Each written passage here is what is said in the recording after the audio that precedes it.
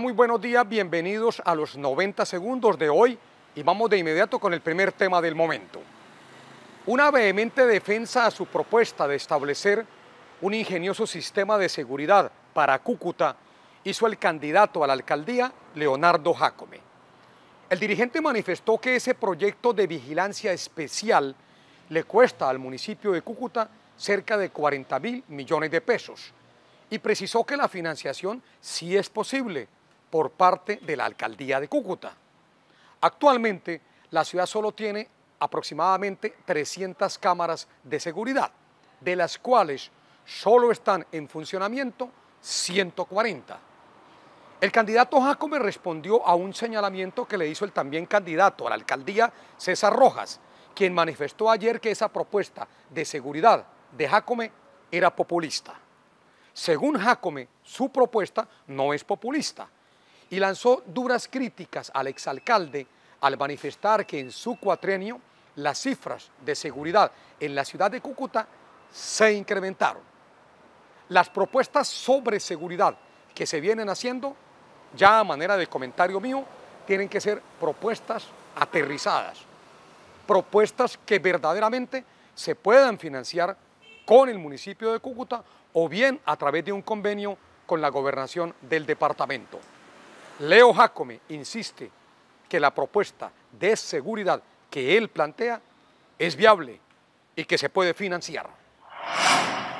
El candidato a la alcaldía de Cúcuta, Emerson Meneses, se pronunció en las últimas horas sobre la problemática de la informalidad y desempleo que se vive en la ciudad. Meneses en su intervención hace referencia a los 250 mil cucuteños que viven de la informalidad, la cual es una de las principales problemáticas que existen hoy y se debe resolver.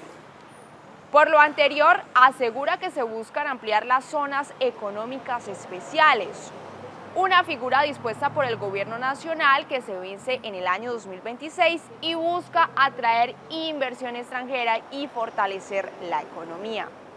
El candidato también ha dicho que desde la administración municipal se deben generar condiciones en el tributo municipal para aliviar el bolsillo de los empresarios cucuteños. Una propuesta que sin lugar a dudas respecto a la CESE deberá formular ante el gobierno nacional. Esperemos a ver si de llegar a ganar la alcaldía de Cúcuta se podría realizar. El respaldo político del sector denominado Más Educación a la candidatura a la Asamblea de Eugenio Rangel se convirtió en uno de los temas políticos más sonados en la ciudad de Cúcuta desde el día de ayer. Y es obvio que haya causado sorpresa esa decisión del representante Jairo Cristo, quien ha, sido elegido en dos oportunidades congresista. Tras esa decisión del dirigente, ayer también se conoció que el exconcejal de Cúcuta, Nelson Ovalles, también se sumaría a la candidatura del exalcalde Eugenio Rangel para la Asamblea del Departamento. Estos movimientos políticos son prácticamente un adelanto a lo que serían las próximas elecciones al Congreso de la República, pues desde ya se avecinan movimientos y algunos entrampamientos o zancadillas políticas para cerrarle el espacio a unos y abrirle el espacio a otros dirigentes políticos. Muchos consideran que la decisión que ha tomado el sector político de Jairo Cristo es precisamente anticipando a lo que pueda pasar dentro de tres años en las elecciones del Congreso de la República.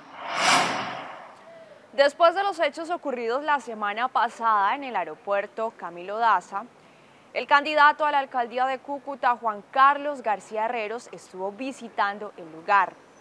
Desde la malla que comunica al aeropuerto con el barrio que lleva su mismo nombre, asegura que una solución para la problemática de inseguridad que se viene presentando es la construcción de una vía que mejore la movilidad en el sector. De la mano de la construcción de esta vía también se realizaría un amoblamiento y reforma urbana, una obra que asegura el candidato mejoraría la calidad de vida de los cucuteños. García Herreros le apuesta en su campaña al mejoramiento de la infraestructura para generar competitividad en la ciudad de Cúcuta. Le voy a hacer dos comentarios políticos en uno. Repito, dos en uno. se habla en los mentideros políticos que hay no un acuerdo, sino prácticamente un convenio de tipo político para llevar a cabo una encuesta en la ciudad de Cúcuta entre tres candidatos. Yo les voy a dar los nombres, repito, no tengo la, la seguridad de que sea así, pero lo transmito. Una encuesta entre Emerson Meneses, Juan Bocanegra y el candidato César Rojas. Y me dicen que quien resulte ganador de esa encuesta, pues obviamente recibiría el respaldo de quienes pierdan la respectiva encuesta.